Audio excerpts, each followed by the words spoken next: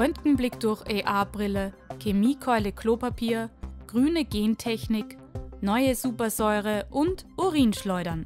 Ich bin Iris Böhm und damit herzlich willkommen zu Makro Mikro.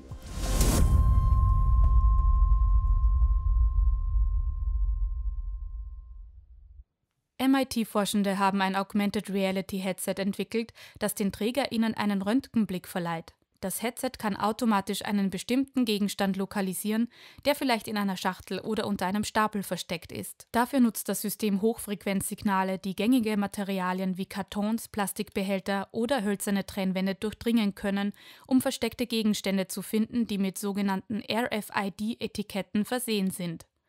RFID ist eine Technologie für Sender-Empfängersysteme, welche es erlaubt, sich automatisch und berührungslos zu identifizieren oder lokalisierbar zu machen. Die RFID-Etiketten senden Signale an eine Antenne, welche diese dann reflektiert. Das Headset leitet die TrägerInnen beim Gehen durch den Raum zu dem Ort des Gegenstandes, der als transparente Kugel in der Augmented Reality Oberfläche angezeigt wird. Sobald sich der Gegenstand in den Händen der BenutzerInnen befindet, prüft das XAR genannte Headset, ob die Person den richtigen Gegenstand in die Hand genommen hat. Als die Forschenden XAR in einer lagerähnlichen Umgebung testeten, konnte das Headset versteckte Gegenstände im Durchschnitt bis auf exakt 9,8 cm ausfindig machen. XAR könnte LagerarbeiterInnen im E-Commerce dabei helfen, Artikel in unübersichtlichen Regalen oder in Kisten zu finden oder den genauen Artikel für eine Bestellung zu identifizieren, wenn sich viele ähnliche Objekte im selben Behälter befinden. Es könnte auch in einer Produktionsstätte eingesetzt werden, um TechnikerInnen zu helfen, die richtigen Teile für den Zusammenbau eines Produktes zu finden. Forschende haben Klopapier als potenziell bedeutende Quelle für sogenannte ewige Chemikalien ausgemacht. Bei Analysen von Klopapier in Amerika, Afrika und Westeuropa seien vielfach disubstituierte Polyfluoracylphosphate, kurz DIPAP, festgestellt worden. Diese Stoffe gehören zur Gruppe der per- und polyfluorierten Chemikalien, kurz PFAS. PFAS sind in der Natur extrem langlebig. Zur Gruppe der PFAS gehören mehrere tausend Chemikalien. Sie kommen in zahlreichen Produkten wie Shampoos oder Pizzakartons zum Einsatz. Verschiedene Studien kommen zu dem Schluss, dass einige von ihnen Auswirkungen auf die Fruchtbarkeit haben oder zu Entwicklungsverzögerungen bei Kindern führen können. Die nun festgestellten DIPAP können sich unter Umständen zu anderen PFAS wandeln, die als krebserregend gelten. Abwasser und Klärschlamm werden laut den Forschenden üblicherweise für die Bewässerung und/oder Landausbringung wiederverwendet. Auf diesem Weg gelangt auch PFAS in die Umwelt. Das Vorhandensein von PFAS in Toilettenpapier auch in kleinen Mengen sei daher potenziell bedeutsam. Der Studie zufolge setzen einige Papierhersteller bei der Umwandlung von Holz in Zellstoff PFAS zu, deren Spuren das fertige Toilettenpapierprodukt kontaminieren können. Recyceltes Toilettenpapier könne außerdem mit Fasern hergestellt worden sein, die aus Materialien stammen, die PFAS enthalten.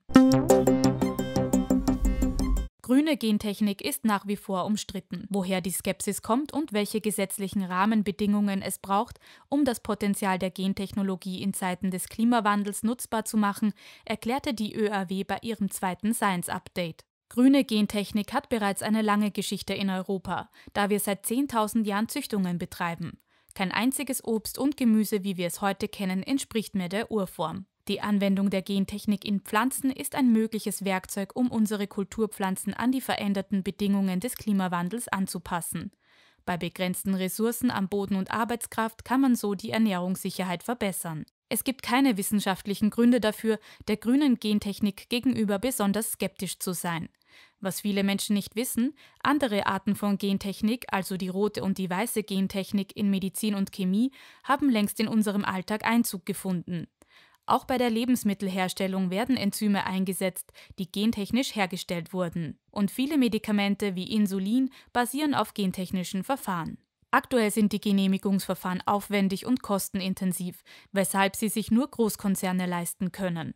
Würde die gesetzliche Regelung angepasst werden auf das, was für Zulassungen neuer Sorten in der klassischen Züchtung bereits existiert, dann könnten sich auch kleinere Betriebe überlegen, ob sie für ihre Kulturpflanzen solche Verfahren in Betracht ziehen. Das würde wiederum die lokale Diversität von Kulturpflanzen fördern. Chemiker haben eine neue Gruppe von sogenannten Lewis-Supersäuren hergestellt. Das sind hochreaktive Säuren, die anderen Molekülen ihre Elektronen entreißen und dadurch auch starke Bindungen aufbrechen können. Chemische Bindungen entstehen nämlich, wenn Atome einige ihrer Außenelektronen teilen oder ganz an den Bindungspartner abgeben.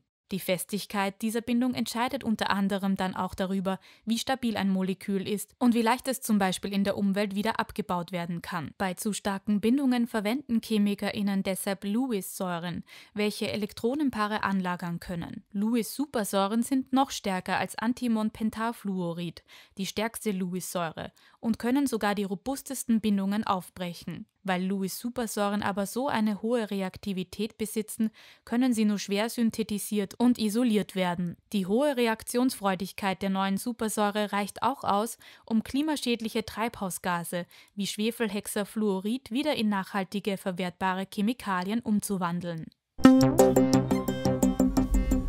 Und wie immer ein Fun Fact zum Schluss. Manche Zwergzikaden sind wahre Urintröpfchenschleuderer. Jeden Tag schleudern sie circa das 300-fache ihres Körpergewichts in Form von Urintröpfchen aus ihrem darauf spezialisierten Hinterteil heraus.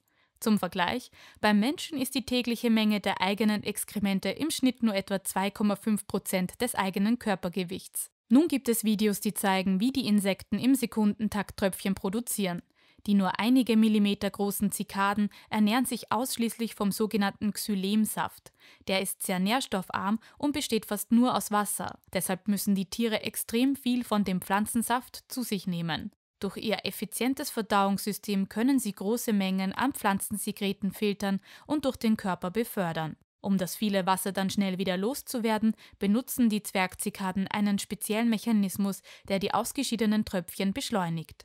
Laut den ForscherInnen, die die Zwergzikaden untersucht haben, sei das eine Strategie, um Energie zu sparen. Denn bei anderen Methoden sei der Energieverbrauch deutlich größer. Indem die Exkremente weit weggeschleudert werden, würden Feinde außerdem nicht so leicht auf den Aufenthaltsort der Zwergzikaden aufmerksam. Das war Makro Mikro, dein wöchentliches Wissenschaftsupdate. Ich bin Iris Böhm und muss jetzt echt dringend aufs Klo. Bis zur nächsten Folge.